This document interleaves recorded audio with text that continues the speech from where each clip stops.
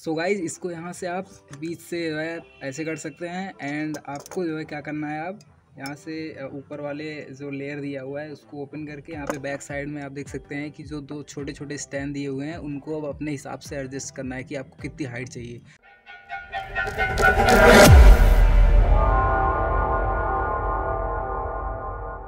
So hi guys welcome back to another video आज हमने एक नया प्रोडक्ट मंगाया है। ये फ्लिपकार्ट की तरफ़ से आप देख सकते हैं कि इन्होंने लाने में कितनी बड़ी कमी करी है।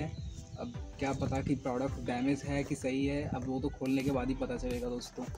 तो यहाँ से अभी मैं चाकू से इसको ओपन करने की कोशिश करता हूँ।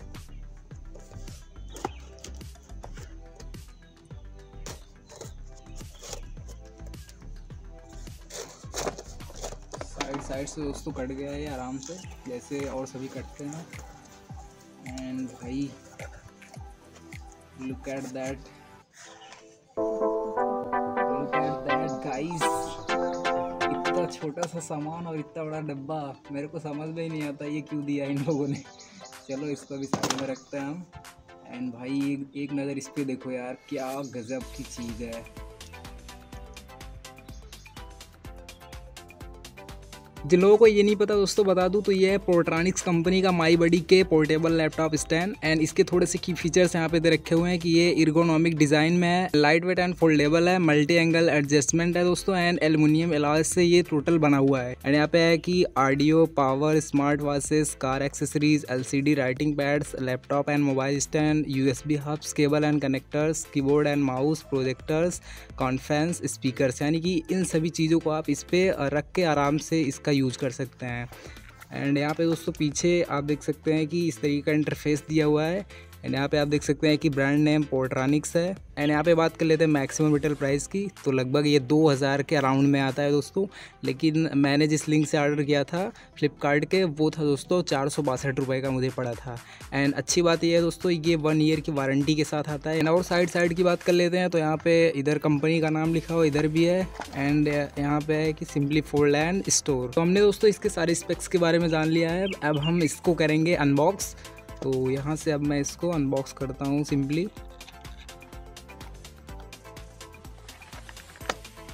एंड गाइस ये यहाँ से निकलता है कुछ इस तरीके से। एंड सबसे पहली चीज़ जो यहाँ पे मिलती है मुझको।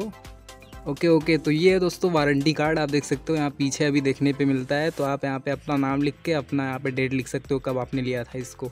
चलिए, इसको यहाँ ऊपर रखता हूँ मैं। एंड जो चीज़ ज़रूरी है, उसको निकालता हूँ मैं।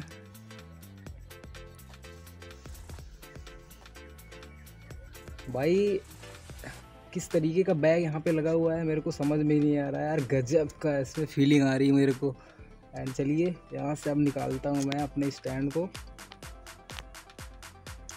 और भाई साहब, यार, ये एक नज़र डाल के देखो इस पर क्या गज़ब का मतलब है। चलो, बैग को साइड में रख लेता हूँ मैं। तो यहाँ पे दोस्तों आप देख सकते हो किस तरीके की डिज़ाइन है। एंड आइए आपको बताता हूँ किस तरीके से आप यूज़ कर सकते हैं। तो सबसे पहले आपको यहाँ पे पकड़ना है यहाँ पे। एंड इसको ऐसे ही खींच देना है सिंपली एंड आप देख सकते हैं कि इस तरीके से ये यहाँ पे एडजस्ट हो गया है। एंड ये अभी तो मैं हाथ पे ही दिखा रहा हूँ। अभी आपको यहाँ पे टेबल पे आइए दिखाता हूँ। सो गाइज़ इसको यहाँ से आप बीच से जो है ऐसे कर सकते हैं। एंड आपको जो है क्या करना है आप यहाँ से ऊपर वाले जो लेयर दिया हुआ है, उसको ओपन करके यहाँ पे बैक साइड में आप देख सकते हैं कि जो दो छोटे छोटे स्टैंड दिए हुए हैं, उनको अब अपने हिसाब से एडजस्ट करना है कि आपको कितनी हाइट चाहिए।